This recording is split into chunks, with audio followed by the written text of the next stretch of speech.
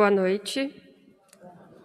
Eu peço desculpas já por ter escrito um texto, mas eu precisei resumir seis anos em alguns minutos para poder transmitir uma mensagem muito legal para vocês. É com muita alegria que eu dou este testemunho de uma graça alcançada por intercessão da Mãe Nossa Senhora Aparecida. Sei que eu preciso ser sucinta, mas antes de contar sobre a graça que recebemos, preciso voltar um pouquinho no tempo. Sempre me considerei uma pessoa muito crente em Deus, mas andava em falta com Ele. Não me lembro há quanto tempo eu não me prostrava, me perdoava com Ele ou o agradecia. Me casei em outubro de 2014 e logo depois descobri que estava grávida. Minha gestação teve inúmeras intercorrências. Eu estava obesa, tive sangramentos, ameaças de abortamento que depois de algum tempo passaram a ser ameaças de parto prematuro. O parto também não foi tranquilo, mas Deus esteve cuidando de nós durante todo o tempo, como sempre esteve, e o Arthur nasceu saudável e lindo. O nascimento dele me reconectou com Deus de uma maneira inexplicável. Quando eu pude segurar ele nos braços pela primeira vez, eu me lembro que senti uma força tão única, e um amor tão indescritível, senti exatamente como se a conexão que eu estivesse perdido com Deus estivesse acabando de se reconectar. reconectar. A única coisa na qual eu conseguia pensar era: meu Deus, mesmo com todas as dificuldades e todas as intercorrências, eis aqui a maior prova do teu amor por mim. Como eu pude me afastar do Senhor. E desse dia em diante eu passei a orar todos os dias, em agradecimento por todas as pequenas graças que nós recebemos. O Arthur era muito bonzinho, não chorava muito, logo no início já dormia seguidamente horas suficientes para que a gente pudesse descansar a noite inteira. Se desenvolveu muito bem, andou com um ano e uma semana, mas sempre notava algumas coisas diferentes. Parecia esquecer o que aprendia, quando falou, falou cada palavra pouquíssimas vezes, não nos olhava, não nos atendia quando chamávamos, ficava horas e horas extremamente concentrado brincando com a mesma coisa, não aceitava contato das pessoas, recusava muitas vezes o contato do papai, tinha uma fixação pelas rodinhas dos carrinhos, e o fato de ser tão bonzinho às vezes me preocupava, porque ele não chorava nem quando se machucava. Não conseguíamos escovar seus dentes, pentear os cabelos, cortar então era uma tarefa quase impossível. E ele também não sorria muito. Eu não sei se é porque a gente não trocava muito olhares ele, muitos olhares com ele, mas ele parecia estar sempre triste e distante. Preocupada com todas essas questões, eu coloquei o Arthur na escola e passei a perceber ainda mais o quanto ele estava atrasado em relação aos amigos que já formavam frases, enquanto ele emitia apenas dois sons incompreensíveis para tudo, que suas tentativas de interação eram diferentes, e que na escola também não atendia quando era chamado e brincava no chão em volta dos amigos enquanto os amigos brincavam juntos. O fato dele ser bonzinho fez com que muitas vezes eu fosse desestimulada a procurar ajuda, mas eu conversei com a minha mãe, e desde o início ela me apoiou e me incentivou, e eu marquei um neuropediatra para ele. Ela, inclusive, foi comigo na primeira consulta, e logo de cara ele já apontou o provável diagnóstico, que só poderia acontecer mesmo depois que ele passasse por uma equipe multidisciplinar e alguns exames. Mas estava bem claro para o médico que o Arthur tinha transtorno do espectro autista.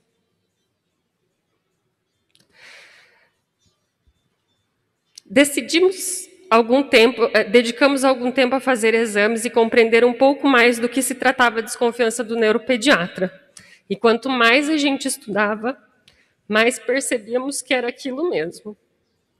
Suas muitas características de uma criança autista eram sua, em, em sua grande maioria leves, mas eu já digo que autismo leve de leve não tem nada. Quando o diagnóstico foi fechado, meu esposo ficou arrasado. Ele também não foi fácil para mim. Mas eu sempre tentei encarar com amor. Eu disse naquele dia para o meu esposo que se Deus havia nos escolhido para sermos a família do Arthur, é porque nós tínhamos algo de muito especial para oferecer a ele, que ninguém mais nesse mundo teria. E quando eu disse nós, eu me referia a todas as pessoas que fazem parte da vida do Arthur, porque eu acredito que Deus não coloca absolutamente ninguém nos nossos caminhos ao acaso. Começamos as intervenções terapêuticas, fonoaudióloga, psicoterapia pelo método ABA, terapia ocupacional, ocupávamos o nosso tempo em casa com estímulos, porque, segundo a médica, quanto mais, melhor. E sempre em oração, confiantes de que Deus estava preparando algo especial para nós. Oramos, estudamos, nos, nos esforçamos tanto que descobrimos que 2% das crianças saem do espectro autista. Quando eu descobri isso, decidi fazer a promessa mais importante da minha vida Pedi a Nossa Senhora, como mãe, que intercedesse por, pelo meu filho junto a Jesus, para que ele recebesse a graça de superar o diagnóstico do autismo. Afinal, não tem nada que, mãe, que um filho não peça, ou que uma mãe não peça a um filho, que o filho não faça por sua mãe. Nessa época, o Arthur tinha dois anos e meio. Não falava, não interagia muito com a gente. Eu tentava ser positiva, mas por muitas vezes me perguntei se meu filho falaria, se ele sairia das fraldas, se algum dia conseguiríamos cortar o seu cabelo sem que ele quase desmaiasse. E se escovar os seus dentes deixaria de ser um desafio tão grande. Se ele deixaria de andar na ponta dos pés, se ele brincaria com os amigos como as outras crianças faziam. Com muita fé, intervenção profissional adequada e amorosa, o Arthur foi melhorando absolutamente em todas as suas estereotipias se superando a cada dia, até que exatamente com sete meses do início das terapias, o psicólogo que o atendia chamou e disse: O Arthur ainda não está falando e eu sei que vocês terão alguns desafios, mas chegou a hora de dar tchau às terapias. Sua evolução até aqui foi tão grande que as características que o tornavam autista praticamente desapareceram. Agora é hora de parar com tudo para que de preferência ele nem se lembre que passou por isso. E ele nem lembra mesmo. Nós oramos, confiamos, mas também agimos. E hoje, com a graça de Deus e intercessão de Nossa Senhora Aparecida, meu filho não é mais considerado uma criança autista.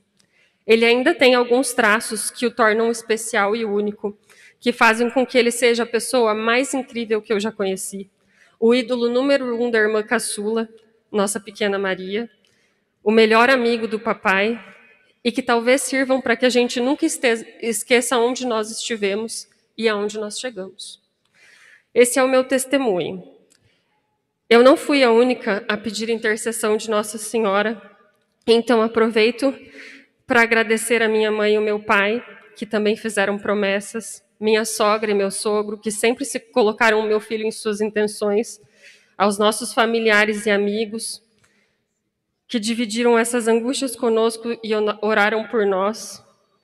E em memória, agradeço a bisa do Arthur, Dona Maria Leonor, avó do meu esposo, que além de ter feito também a sua promessa, foi a minha maior inspiração religiosa enquanto viveu.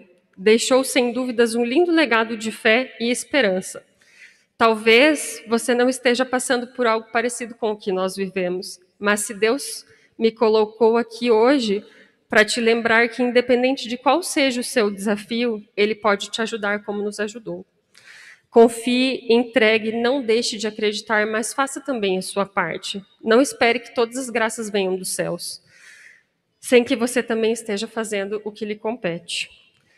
E caso tenha aqui alguma família em fase de avaliações neuropsicológicas ou desconfiando que há algo errado com o seu filho, não tenha medo. Eu sei o que você sente. Sei exatamente como é, como é estar diante do incerto.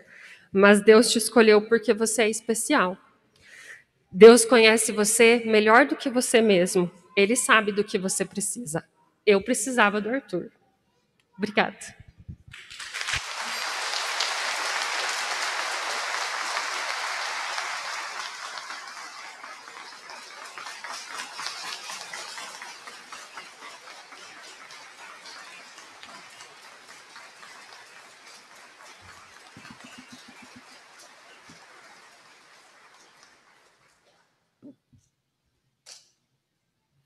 Obrigado, filha, pelo seu testemunho.